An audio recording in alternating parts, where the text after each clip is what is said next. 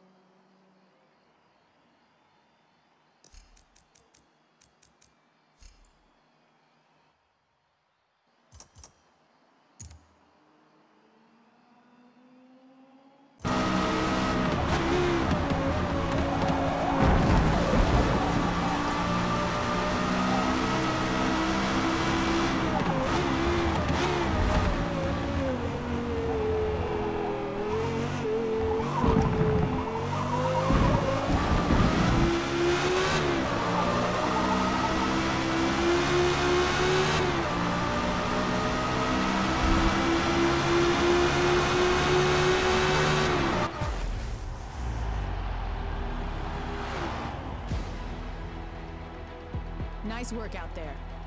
He won.